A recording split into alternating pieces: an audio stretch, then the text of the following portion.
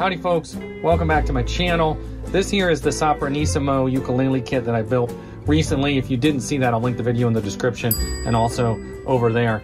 But um, in any case, when I got done and tuned it up, I noticed that the intonation seemed to be just a little bit off.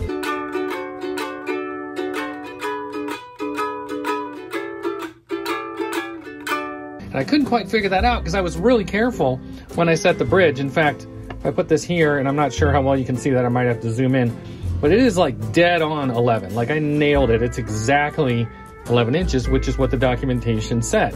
But what I didn't do, and I should have known to do, is I didn't measure the fretboards. From the nut to the 12th fret here should be on an 11 inch scale. That should be five and a half, and it's actually about five and nine sixteenths. So this is not an 11 inch scale. It's actually an 11 and an eighth inch scale. This is already glued down, so I can't move the bridge or the saddle. And normally, I would just unscrew the neck here and uh, put a spacer, like a one, in, one eighth of an inch spacer behind it and just push it forward and that would take care of my problem. But I glued the neck in place due to these, uh, this sort of hovering thing here.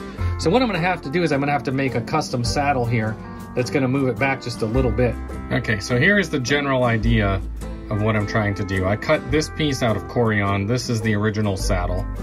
And so you can see it's about the same height and width as the original saddle.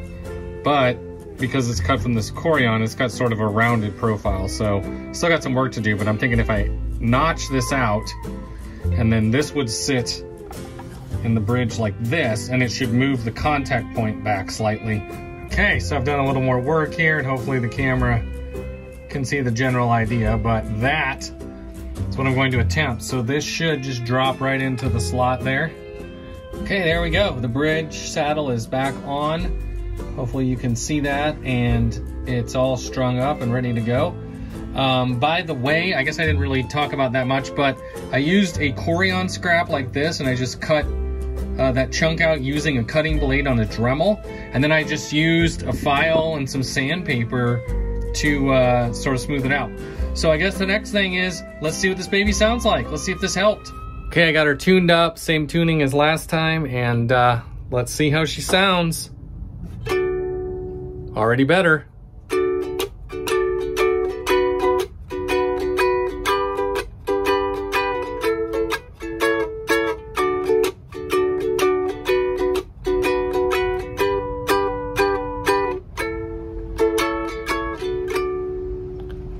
Much, much better. Okay, that is a dramatic improvement from last time. And all we did was shift the, the saddle here, maybe about an eighth of an inch uh, backwards, but it made a huge difference. So if you ever come across that in your building, that is how you fix it.